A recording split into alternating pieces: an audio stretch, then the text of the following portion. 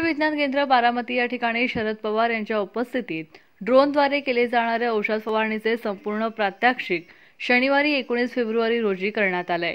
कृषी ड्रोन हे एक मानवरहित हवाई वाहन आहे जे कृषी निर्विष्टांची फवारणी पीक उत्पादन वाढवण्यासाठी वापरलं जातं.